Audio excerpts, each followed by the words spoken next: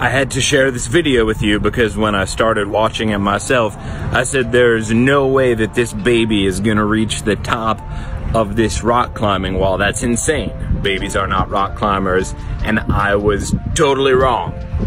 When I started watching it, I didn't know what to expect, uh, but somehow the baby has the bravery to climb up that wall, and I know they have the protective mats there and the parents are right there, but still, it's amazing, and it goes to show you the people who get stuff done it's not necessarily because they are stronger. This is just a baby, right? Uh, it doesn't mean they're smarter, but the people who do stuff are so often just the ones who try and the ones who work hard. That's the big secret.